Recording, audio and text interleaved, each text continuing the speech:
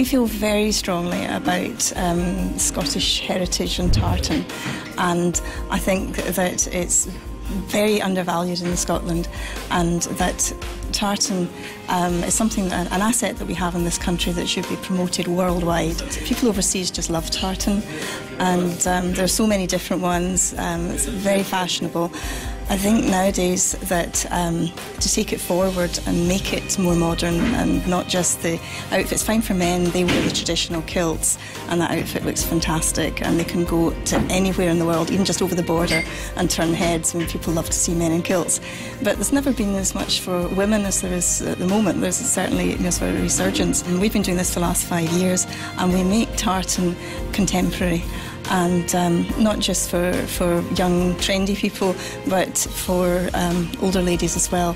But not the, the, the, kilts, which are not very, very flattering, the traditional kilts and the white blouses with the jabots. We do something that fits into everyday life, but what we do is just that little bit different to what other people do. The combination of the Harris tweed and the tartan, our colour schemes, um, just the way I put it together is um, not, you know, so not what you see in, in other collections.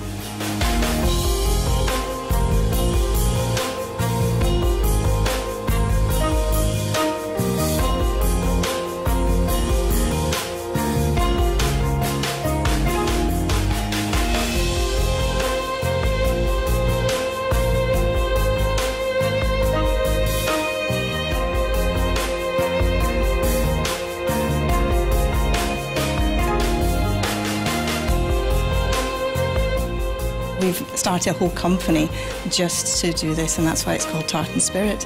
We see it as um, something that can be taken overseas and be promoted worldwide. So tonight there's been over 100 um, Chinese uh, golfers in the audience, a lot of business people um, from China, and the response has been, been tremendous. And of course, there is a Chinese Scottish tartan which was designed in Angus and um, we have been strongly promoting this, and tonight we had a round on the, the, catwalk along with Scottish Cashmere made in the borders, and the girls all came on with, with golf clubs, and of course the golfers in the audience love this, the short skirts and the, the golf clubs and, and um, the, the, the, lovely models, and it's just it pr promotes um, the friendship, the Chinese tartan promotes friendship between Scotland and China, and it's one that really we want to take forward.